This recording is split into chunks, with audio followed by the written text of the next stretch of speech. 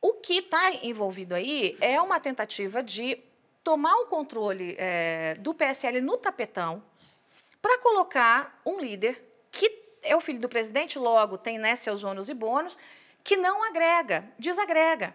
Então, veja, tanto não agrega que, mesmo com o Palácio atuando, com os ministros atuando, os ministros começaram a ligar. Ministro para deputado. Hum. Não vem aqui pressionar.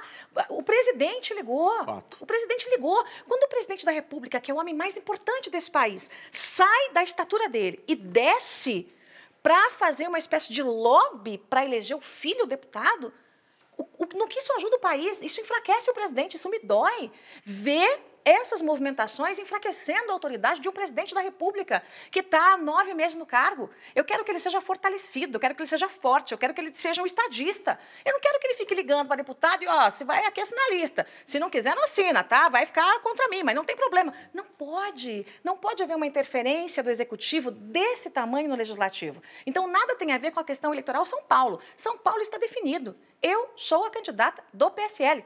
Ponto. Né? Tem a ver realmente com o respeito às instituições e com o fato de realmente parece uma coisa meio, meio, meio maluca, né? Porque para proteger o presidente dos filhos dele, às vezes a gente tem que é, desagradar o presidente. É, mas o, o, presidente da República ele, ele tem que entender, ele não é mais deputado. Ele é, o, ele é presidente de todo mundo, inclusive de quem não votou nele. Ele é o uhum. presidente de quem votou no Haddad. Ele é o presidente de quem não, não votou em ninguém. Ele é o presidente de quem não foi às urnas. Então, ele é o presidente de todos. E é isso que eu quero. Eu quero que o nosso presidente realmente se comporte como um grande estadista e não que passe as horas dele ligando para deputado e dizendo: olha, assina aqui a listinha do meu filho. Não dá.